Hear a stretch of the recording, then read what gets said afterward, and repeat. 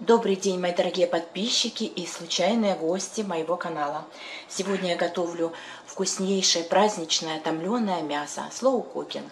То есть это мясо будет готовиться у меня при низких температурах длительное время. Но получается это мясо такое нежное, что я вам просто не могу передать словами. Время, затраченное на приготовление этого блюда, будет не напрасным. Сегодня я буду готовить из говядины. У меня плечевая часть – для этого блюда можно использовать абсолютно любое мясо, свинину, курицу, индейку, говядину, баранину, то есть любое мясо, какое вы больше всего предпочитаете. Для приготовления этого блюда не обязательно использовать дорогое мясо. Можно использовать любые кусочки мякоти, так как это блюдо в любом случае получается невероятно вкусным. Мясо нарезаем произвольно.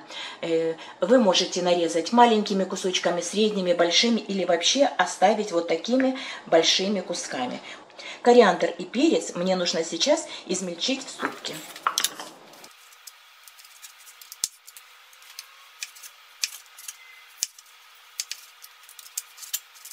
Для приготовления этого блюда я буду использовать топленое сливочное масло домашнего приготовления. Нам нужна чугунная кастрюля, как у меня, или чугунок. Обязательно, чтобы толстостенная или с толстым дном.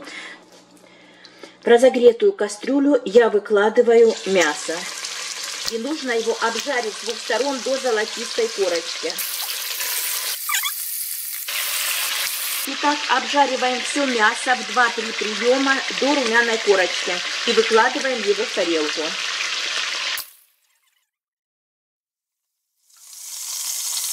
В сковороду в это же масло я высыпаю морковь, лук и перец. И обжариваем пару минут. Через 2 минуты я высыпаю сюда обратно обжаренное мясо.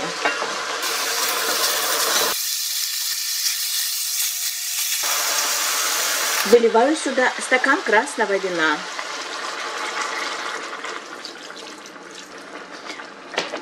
Довожу до кипения и пару минут прокипячу, чтобы у нас испарились пары алкоголя. К мясу добавляю помидоры в собственном соку. Или свежие помидоры можно заменить и добавлю немного томатного сока. Э, жидкости нужно столько, чтобы мясо практически было покрыто. Теперь можно посолить.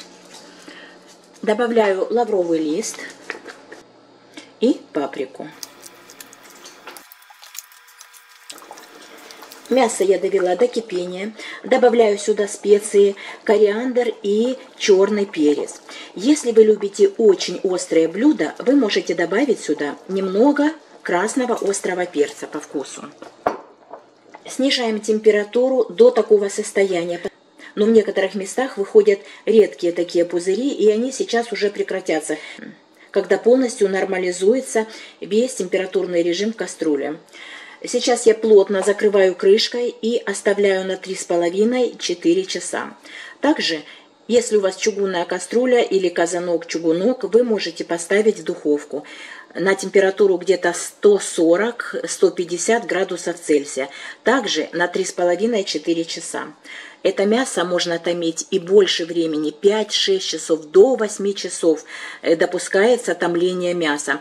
С каждым продолжительным часом мясо становится еще нежнее. Перемешивать мясо нам абсолютно не нужно. Забываем о кастрюле минимум на 3,5-4 часа. Э, где-то через полчаса можно удалить из кастрюли лавровый лист. Встретимся с вами позже.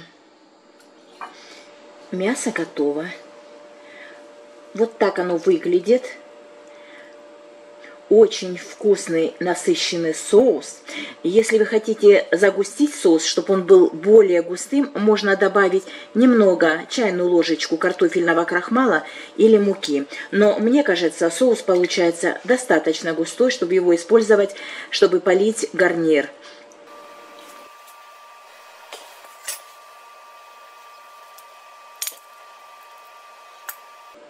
Без помощи ножа. Мясо у нас хорошо разделяется.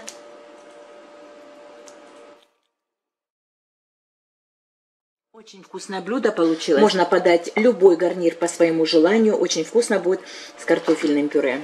Это блюдо можно приготовить и к праздничному столу, и приготовить в любой выходной день для всей семьи. Готовьте с удовольствием и до новых вкусных рецептов с вами.